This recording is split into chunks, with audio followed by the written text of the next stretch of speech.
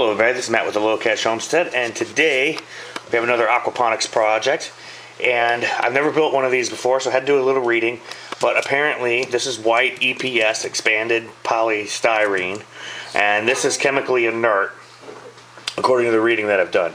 So what I'm going to do is I have eight little uh, containers up here and I've already set this piece of EPS into the tank to make sure that it was going to float. So what I'm going to actually do is I'm going to trace all of these and I'm just going to cut out some holes and just try to get these bottoms barely down in the water. Hey everybody, this is Matt with Low Cash Homestead. So I cut the holes out of this EPS and these are some recycled plants. Please don't do that. I got my little two-year-old who wants to grab everything. Yes, you can hold that. Um, and so I just cut the holes here and then, hey, can Daddy see that for a minute? And I just use this Husky um, jab saw. This is actually one of the best jab saws I've ever had. Uh, it's got a nice little edge for getting into the drywall and stuff, but it works great for cutting styrofoam. So I use this Husky jab saw to cut it out. Now, I can give you it's this, but saw. it's a saw, but it's dangerous if you're not careful. So keep it away from your sister. So uh, now that we've cut those pieces out, I'm gonna make sure it still floats. It's a saw. Okay, so we cut the holes. Uh, it's got eight pots in it, and it's still floating right here. It's still floating right here. So it seems to work. Uh, I got uh, another little piece like that. We're going to build another raft to go behind the coffee tree. And we'll do that and be back.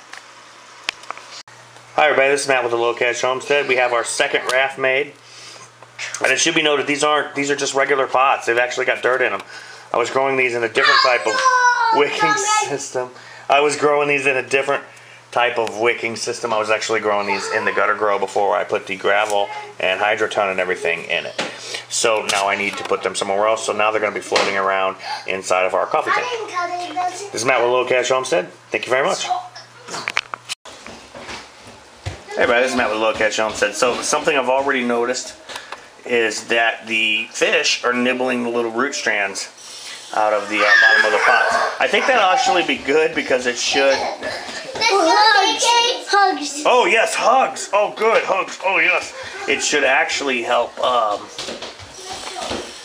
keep generating new new root hairs. And then the other thing we did is we had this shelf that I had mounted for something else and I never took it down. And so I added two more of those lights. This is a 3000K.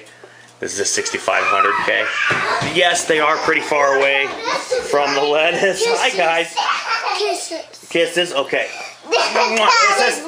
Kisses. Mwah, kisses. Yes, kisses. Mwah, good.